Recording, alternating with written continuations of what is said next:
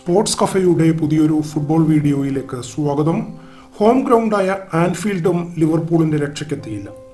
Jurgen ക്ലോപ്പിന്റെ Liverpool UEFA champions ലീഗിന്റെ semi final കാണാതെ പുറത്തായി. ആൻഫീൽഡിൽ നടന്ന രണ്ടാം പാദ മത്സരത്തിൽ റയൽ മാഡ്രിഡും ലിവർപൂളും ഗോളടിക്കാതെ സമനിലയിൽ പിരിഞ്ഞു. ഇതോടെ ആദ്യ പാദത്തിലെ ഒന്നിനെതിരെ മൂന്ന് ഗോൾ ജയവുമായി റയൽ മാഡ്രിഡ് സെമി ഫൈനലിലേക്ക് ആദ്യപാദ സെമിയിൽ റയൽ ഈ മാസം ഇരുപത്തിയേഴിന് ചെൽസിയെ നേരിടും. മെയ് നാലിനാണ് രണ്ടാം പാദ സെമി ഫൈനൽ പോരാട്ടം. രണ്ടാം പാദ ക്വാർട്ടറിൽ ഗോളടിക്കാൻ കിണഞ്ഞു പരിശ്രമിച്ചെങ്കിലും റയൽ ഗോളി തിബോത് കോർത്തയെ കീഴടക്കാൻ ലിവർപൂൾ താരങ്ങൾക്ക് കഴിഞ്ഞില്ല. ഫിർമിനോയുടെയും മിൽനറുടെയും ഷോട്ടുകൾ കോർത്ത തട്ടിയകറ്റി. ഗോൾ പോസ്റ്റിന് മുന്നിൽ ഉഗ്രൻ ഫോമിലായിരുന്നു Courtois. Mohamed Salah Georginio Wijnaldum James Miller എന്നിവർക്ക് ഗോൾ നേടാനുള്ള അവസരം കിട്ടിയെങ്കിലും ഒന്നും ലിവർപൂളിന്റെ വഴിയിലായിരുന്നില്ല.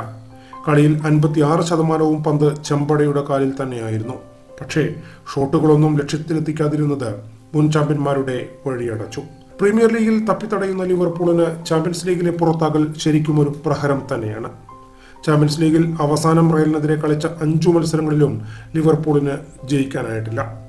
ഈ മത്സരം സമനിലയിൽ അവസാനിച്ചപ്പോൾ ഇതിനു മുൻപുള്ള നാല് മത്സരങ്ങളിലും റയലിനായിരുന്നു ജയം.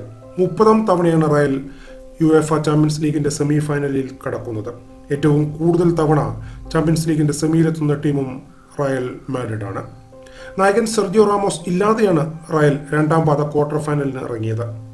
റയൽ മിഡ്ഫീൽഡർ കാസിമിറയാണ് കളിയിലെ താരം. ആൻഫീൽഡിലെ പോരാട്ടം കഠിനമാണെന്ന് അറിയാമായിരുന്നുവെന്നും ടീം പ്രതീക്ഷിച്ച പ്രകടനം പുറത്തെടുത്തു എന്നുമായിരുന്നു മത്സരശേഷം കോച്ച് സിനദിൻ സിദാന്റെ പ്രതികരണം. ഫുട്ബോൾ ലോകത്തെ കൂടുതൽ വിശേഷങ്ങൾക്ക് സ്പോർട്സ് കഫേയെ സബ്സ്ക്രൈബ് ചെയ്യുക.